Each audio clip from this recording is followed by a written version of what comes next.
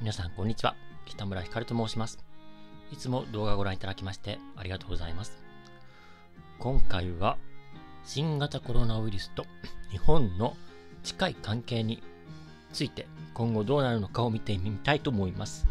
まあ、これもなんか恒例になってしまってますけれども、えー、あの、3月の13日かな、の月曜日にマスクが緩和されます。だからマスクを外して行動するのもいいし、マスクをしても構わないっていうのが決まっています。なので、その、ね、それに影響があるのかどうかっていうのも、ちょっとまずタロットカードとルールマンカードで見てみたいかと思います。まあもうね、ちょっと暖かくなりましたし、もうね、人もね、結構外国人の方もね、結構観光で来られてる方もいらっしゃいますしね、もう結構、もう卒業式とかも終わりま、あの高校とかはね、もう卒業式終わってますからね、だからもう結構人がね、多くなって、出入り、結構人がね、もうたくさんいますよね、休みの日とかは。まあね、あんまりね、今もう、ベースボール、ワールドベースボールかな、もう、もう結構ね、フィーバーしてますからね、まあ昨日も韓国に勝って 圧勝してましたからね、だからそれでね、あの、ね結構もう今はねそれコロナのことなんかすっかり忘れられてるような感じがしてますけれどね。まあまあね感染者がね少なくなってるのもありますね。まああと5類になるっていうのもありますからね。まあでもね確かに去年はちょっとひどかったですよね。うんだって職場でもなんかねなってる人いましたからね。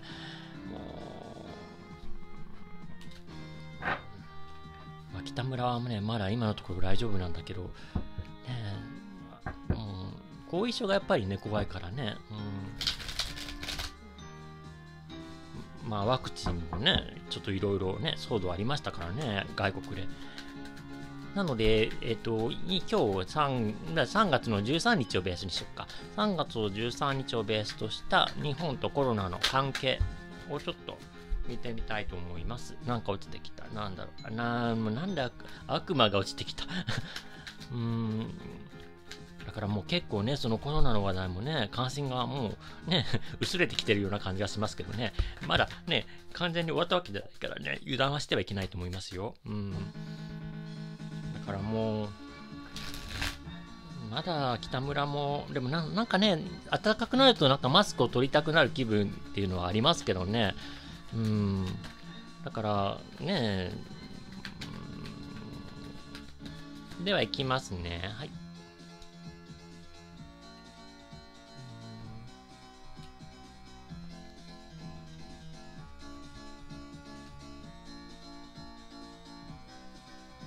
おおなるほど。うわあ、なんだろう、これ。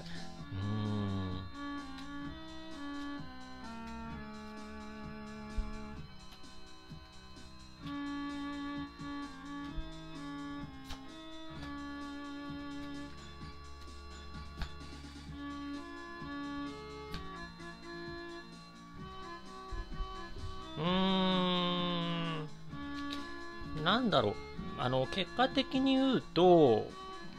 まあ、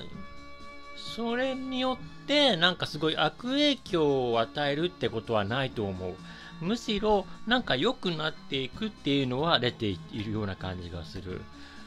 まあ、ちょっと解説していくと、今の状況が一応、ね、エンプレス、女帝が出てます。だからこれはね、成長していくとか、まあ、あの、ちょっと豊かさが戻ってくるっていう感じ。人の、だから、人のなんか出入りが戻ってくるような感じがする。だからなんかそのね、コロナ禍のパンデミックの前のような、なんかその、にぎわいが戻ってくるような感じがするカードが出てるね。でも、それ逆に、あの、その、な潜在的なものとしたら、うん、あの、ひそかにね、胸に抱えてるものとしてはね、ちょっとね、あの現状維持できないとか、ちょっと無駄が多いんじゃないのかとか、っていう意味が出てるかな。うん。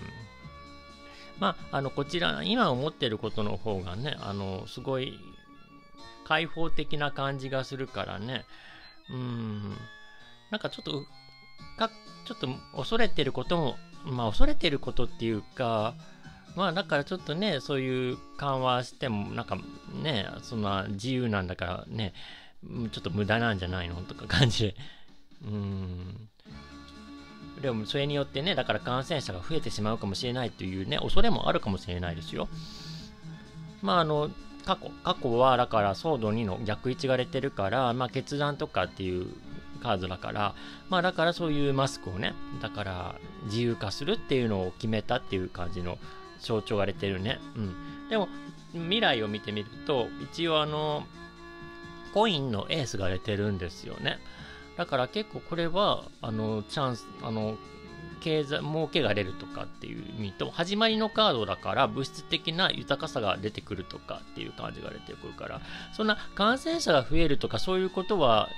このカードにはちょっと出てないとは思う。だから逆に、その、それによって、なんかその経済がちょっとね、回復していくんではないのかっていうのが近い未来では出てる。うん。で、結果としてはね、あの、うーん、あの、これはね、忍者の聖一が出てるんですよね。だからね、あの、達成できるとか、まあ、達成のカードなんでね、うん、で、まあ、一応ね、あのまだ、まあ、前回も占ったと思うんですけれども、だから2024年頃になったらちょっとマシになるんじゃないかと予測はしてたけれども、まあ、あのまだちょっとね、そこまであの完璧とは言えないけど冷静になってる感じがする。だからマスクをあの外す外さないは自由だけどやっぱりすごい感染とかが怖いっていう人はやっぱりマスクをするっていう感じが出てるかな。うん。まあなんかこうやっぱりね今までだから縛りがね大きかったような感じはするうんでもね、過去は、なんかね、最初はね、なんか、えー、マスク取ってどうするんだろうって、ちょっとね、ネガティブな感じになってる。でも、次第にちょっとね、考えるようになって、次第には、あの、ソードの9、これ逆位置はね、いい意味なんですよね。だから解放していくとか、なんか、もやもやがなくなっていくとか、悩んでいたことがすっきれるみたいな感じのカード割れて、あと9なので到達の意味もあるから、まあ、次第にあ慣れてくるような感じはする。まあ、最初はね、だから、えー、どうしよう。なんか、またどうせこれと同じだな。だから感染者増えるんじゃないかという恐れが出てる。もう悪いイメージばっかりしてる。で、それを、まあ、なんかだんだんと考えるようになるかな。うん。まあ、あの、行動するよりも考えてるって感じがするかな。うん。だだけど、次第に回復はしていくような感じはする。うん、でも、外部的な関係から見たら、ちょっと感情が落ち着いてきてる感じはするかな。うん。マスクを外さなければいけないとか、つけなければいけないっていう、ね、こだわりがね、ちょっとね、溶けていくような感じがするかな。まあ、これも逆位置でもいい意味なんでね、安定するとかね、あの、豊かさが戻ってくるみたいな感じは出てくる。まあ、ちょっとね、あのこれは外見的な、外部的なもの、環境的なものなんだけどね、やっぱりね、すごい、やっぱり、ちょっと変化を恐れを、恐れたい、恐れてるって感じが出てるかな。うん。だからね、開放的な感じはするんだけど、逆にちょっと変化を恐れてるような感じはする。うん。で、対策が出ています。うんなんだろう、なんか、でも死神が出てるんだよね。うん。まあ、望ましい変化のための移動っていう意味もあるんよね、これ。だから、停滞していくっていう意味もあるから、うん。それを、まあ、あと、ソードの7の逆位置が出るから、人を信じるように、なんか、まあ、ウイルスって人から人へのね、感染だからね、だから人から人へのね、信用が出てくるみたいな感じが出てくるから、人から人への信用、あと、もう過去の、もうパンデミックの頃の、ね、あの、依頼、もやもやを捨てるっていうことが出てるような感じはする、対策で。ただね、問題なのがね、このクイーンがね、なぜか2人逆位置で出てるんよね。まあ、ソードだからね、なんか、ななんだろう、なんかこだわりがなんか強い人がには注意した方がいいと思う。だからもう、まあ今でもね、だから昔に比べたは、もうだから、そういう、あの、新型コロナウイルス、今なん、なんていうかな、まあいいや、そういう新型コロナウイルスの、あの、その過去のあの、最初はね、だから原因がわからなかったけれども、まあ、だんだんとね、その、アルコールが効くとか、そういうので、ね、対策がわかるようになってきてるからね、逆に、うん、だから、ちょっと過去にこだわってしまうかなっていうのもあるかもしれない。だからね、うん、だから到達はしていくと思うから、来年にはもう期待ができると思いますよ。うん。さっき落ちてきたの多分悪魔の逆かもしれないから、うん。だからちょっとね、苦しみが抜け出すかもしれない。まあね、あの、その、土星もね、魚座に来ましたし、まあ、冥王星がね、逆に、まだ、あの、冥王星が水亀座に行くけど、また、ヤギ座に逆行しますからね。だから来年かなとは思いますよね。では、次に、ルノルマンカードで見てみたいと思います。うんまあでも今でもね、やっぱり感染してる人はいますから、まあ5月になったらね、一応 5, 5類になるていうことになってますからね。うん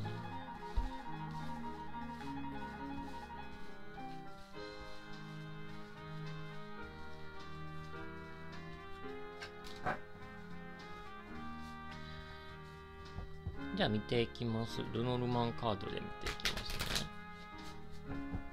じゃあこう一応先ほどもね、3ヶ月ぐらいで見てるので、まあ、これも3ヶ月ぐらいで見てみようかなとは思ってます。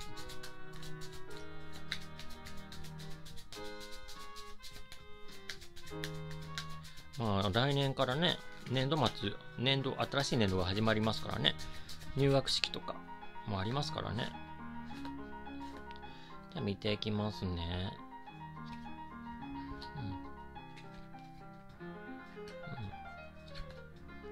うん。うん、おお、素晴らしい。ああ。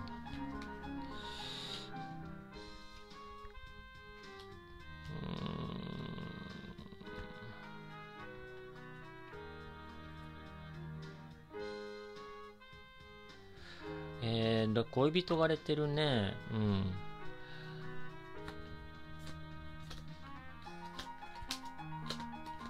ちょっとお待ちくださいね。恋人のカードを出したいと思いますので。ありました。では、恋人のカードがテーマになっています。まあ、人間関係とか、正しい選択とか、うん、試練を克服されるっていう意味のカードがあるんですけどね。調和です。はい。えー、見ていくと、これがメインになります。あのー、手紙のカードが出てて、あの、あとハートのカードが出てて、あと四つ葉のクローバーがこれ幸運のカードなんですよね。だからね、なんか次第にね、いい方には行くと思いますよ。なんか逆にマスクを、まあ、自由化することによって、すごい、なんか、ラッキーなことになると思いますよ。うん、ただ、あの外部的な要因から見たら、なんか無知が出てるのと、あと紳士が左を、過去を見てるのと十字架、ちょっと重々しいカードばっかり出てるんよね。だから、うーん、なんかね、やっぱり葛藤があるみたいな感じがする。それによって、な、やっぱり先ほども言ったように、なんか、ね、それによって今感染者増えるんじゃないかと、バシバシ出てるような感じがする。でもやっぱりちょっと、やっぱり昔の方が良かったなっていう、パンデミックの頃の方が良かったっていうイメージを持ってられてる人もいるし、逆になんか重い十字架を背負ってるような感じがする。うーん、でも、外側ではね、すごいラッキーな感じがするんだけどね。だから、こちらをね、重視、あの、こちらがメインだから、うん。だから、結局なんか、そのね、自分たちで結構勝手にそう決めてるような感じがするかな。圧力をかけてるような感じがする。だからまあこれはね、もうやっぱり、うん、こういう、この場合はもう政府さんのね、もうやり方でまだね、進んでいっていいっていうのは出てるけどね。うん。だからまだ早いんじゃないのかっていうねそういう圧力みたいなのがね外部に荒れてるうんでもねもう外国人も来たりしてますしね今もなんか卒業式でもねお花をね渡してもいいからねすごいお花屋さんとか混んでましたよだからねだからちょっと期待はしても見てもいいと思いますうんだからまあ基本ここんな感じでちょっと3ヶ月の予測を見てみましたのでご参考までにお願いいたします。まあ、ちょっとフリートークっぽくなるんですけれども、あの、まあ、マスクを外す自由化になるってことはもちろん外す人もいらっしゃいますよね。今、だそうね、だからマスクを、だから、あの、外すとなんか素顔が見られて恥ずかしいっていう人も、ね、中にはいらっしゃるとは思います。まあ、それで一番、なんかね、昨日ニュースでやってたんですけれども、今売れてるものというのは、口の公衆用のタブレット、口ものスッキリの、なんかそういう喉飴とかそういうものがね、今ね、結構売れてるらしいですよ。まあ、ただね、公衆とかはね、そういうね、タブレットとかではね、一時的なものになりますんでね、かえってね、あの、それをね、意識すぎ、それを取りすぎるとね、逆効果になるんですよね。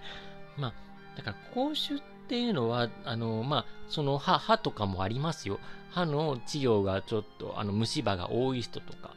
まあ、口元がちょっとだめ、なんかね、なんかちょっと汚れてたりする人とかは、口臭あるって言いますけれども、まあ、あと内臓もありますよ。内臓がちょっとね、良くない、あの、ちょっと調子が悪いとかいう人も、なんか内臓から来る口臭っていうのもあるかとは思います。あの、ね、だから、まあ、ちょっと言い方悪いけど、糖尿病とかの人はね、やっぱりね、独特のね、匂いとかがしますからね、やっぱりね、それでわかるっていう人もいますからね。うん。だから胃腸とかがね、だから便秘気味の人とかも結構口臭がね、ちょっとひどいっていう人もいらっしゃいますからね。だから、まずは、あの、そのタブレットっていうよりも、まずは、その自分の体の内臓をちょっとに意識をしてみるのもいいのかもしれないですよね。うん。だから今ね、だからまあ、そういう体質もありますけれども、あと食生活でもお肉ばっかり食べてたらね、やっぱり口臭広くなりますしね。うん。あとは、あとね、あとタバコを吸う人、まあまあ、タバコはね、まあ、あまり良くないんだけど、まあ我慢できない方もいらっしゃるから吸われている方もいらっしゃると思います。あの、タバコとかの吸う人はイコール口臭がひどいっていうわけではないと思います。だからタバコ吸う人でもそんなにね、口臭激しくないっていう人もいますからね。まあ、タバコ、ちょっとタバコ臭いなっていうのはありますけれどもね。まあ、ただ今電子タバコもありますからね。まあ、ただし、あの、タバコを吸う人にとっては、ちょっとね、爆弾を持ってるんですよね。だから、タバコを吸う人が、もともと内臓とかのからくる口臭とタバコを吸う人が、そのね、タバコの臭さの口臭があったら、もうさらにね、最悪なレベルになってしまいますんでね。まあ、タバコ吸われる方は一応歯をきれいにしたりね、歯の中とか口の中とかをきれいにしたり、もしくはね、内臓をね、あのきれいにするのも一つかと思いますよ。まあ、は、内臓をきれいにすると言ってもね、まあ、排泄が、あの、きれい、あの、きちんとできる人が健康っていうことになりますからね。うん。まあ、こんな感じで、ちょっとマスク外した時の お話をさせていただきましたので、あくまでご参考までにお願いいたします。今日は、コロナと日本のマスクを自由化した後の予測について占いました。いつもごご視聴いただきましてありがとうございました。